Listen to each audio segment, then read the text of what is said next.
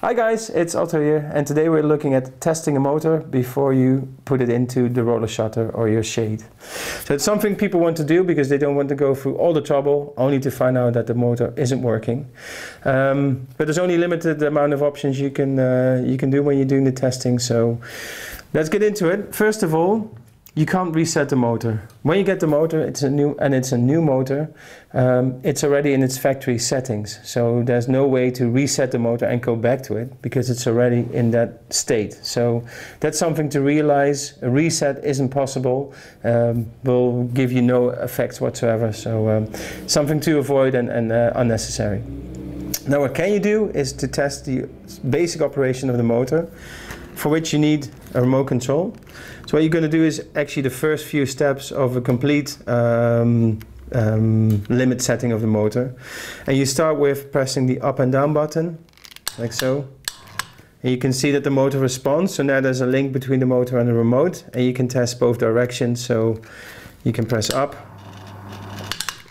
and then it will automatically stop and down. And that's also the, the complete range that you can get in terms of the motion the motor will uh, will give. So you can't go any further, um, and that's enough to uh, to test the motor.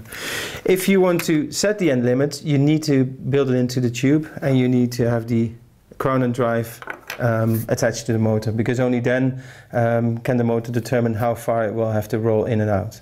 So that's something um, something you can only do when the motor is, is built in. Now, once you've done the test, uh, you don't need to reset it. You just need to um, pull the plug out. For example, I've released the screws already, or just disconnect it from power so that the, uh, the motor is back into the factory setting. There's no link with a remote control anymore. So that's it. If you want to do the test, that's a basic test you can do. There's no problem with the motor if it doesn't run as far as you want it to go. Um, as I mentioned, it can only be done when the motor is already fully installed.